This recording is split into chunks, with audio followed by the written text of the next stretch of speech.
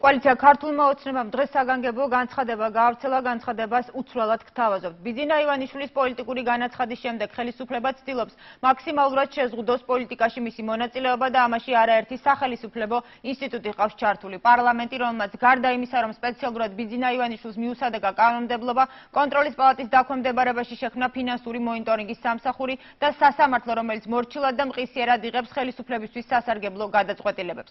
თბილისისა და საქართველოს სხვა რეგიონებში გამართული მრავალათასიანი აქციების შემდეგ. ყოველთვის ცხადი გახდა როგორი მხარდაჭერა აქვს. კოალიციას სწორედ ამიტომ ხელისუფლება ყველა ღონეს ხმარობს რათა წინ აღუდგეს ბიზინა ივანიშვილსა და კოალიცია ქართულ ოცნებას და ფინანსური რესურსების გადაკეთვით შეაჩეროს მისი პოლიტიკური აქტიურობა. კოალიცია ქართულ ოცნებას ამ ბოლო დღეებში მრავალი მხარდაჭერი გამოუჩნდა რომლებმაც სურვილი გამოთქვეს თავად დააფინანსონ და ამით საკუთარი წვლილი შეიტანონ ქართული ოცნების წინასაარჩევნო კამპანიაში. მხარდამჭერები კოალიციას თხოვენ საბანკო ანგარიშის გამოქვეყნებას რომელიც რომელიც საშუალებას მისცემს ყველა მსურველს არა მარტო აქციებზე მისვლით, არამედ საკუთარი ფინანსური მონაწილეობითაც მხარში დაუდგეს კოალიციას წინასაარჩევნო საქმიანობაში და თავისი წვლილი შეიტანოს ქვეყანაში დემოკრატიის განვითარების საქმეში. კოალიცია ქართული ოცნება მადლობას უხდის ყველას ასეთი დიდი ნდობისა და მხარში დგომისთვის და აცხადებს საბანკო ანგარიშსა და რეკვიზიტებს. მოქალაქეთა პოლიტიკური გაერთიანება ქართული ოცნება, დემოკრატიული საქართველო, ბანკი ქართულ, შემდეგ ანგარიშის ნომერი, რომელიც მითითებულია თქვენს ეკრანზე,